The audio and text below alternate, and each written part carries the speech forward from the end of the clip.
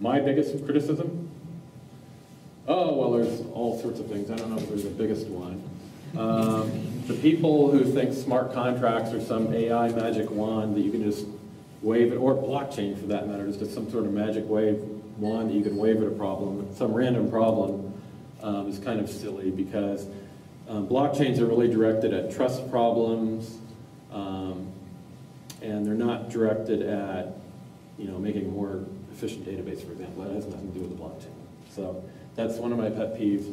And the general thing, and this is in the block size debate too, about people who want to have Visa or PayPal type performance. When the whole fundamental trade-off here we made was, don't worry about performance. Computers or networks are preposterously cheap.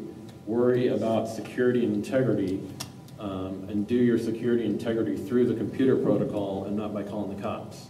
And that gives you an incredible global power that you don't have with Visa, PayPal, or any of the other systems.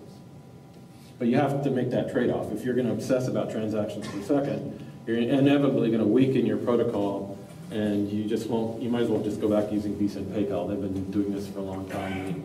They've optimized the heck out of their systems, and you're not going to beat that.